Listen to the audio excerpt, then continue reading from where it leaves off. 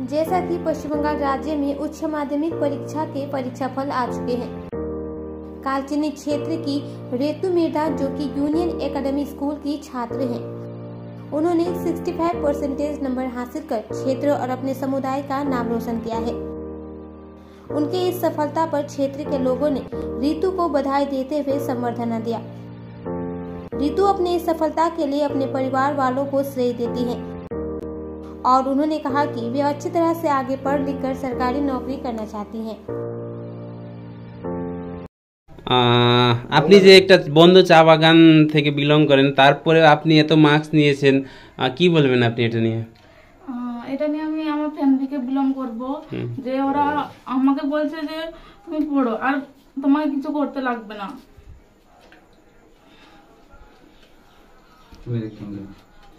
November মাসের পরে আমার ফোনটা নেওয়া হলো তারপরেই আমি ভালো করে পড়লাম।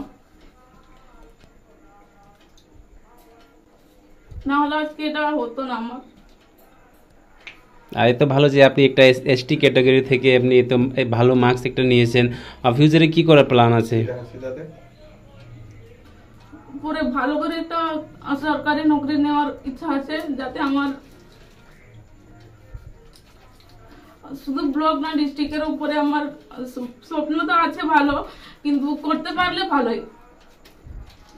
সেটা আপনি এত এত ভালো মার্কস নিয়েছেন সেটা আপনি করতে পারবেন। সেটা আপনার উপরে ডিপেন্ড আর ফ্যামিলি একটু বন বাগান নিয়েও আপনার যত ফ্যামিলি সাপোর্ট করতেছে যত আপনার উপরে নির্ভর তো আপনাকে ভালো করতে লাগবে সেটা নিয়ে আপনি কি বলবেন?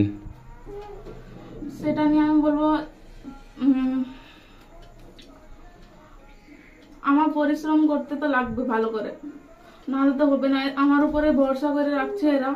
মানে আমার ফ্যামিলিরা যত আমার গ্রামের মামারা যতগুলা আমি ভালো করতে চাই আপনার নাম কি? আপনি কোন স্কুল আর কোন বোর্ড থেকে বিলং করেন? আমার নাম Kittu Mirza. Union academy West Bengal board থেকে আমি বলতেছি। Okay thank you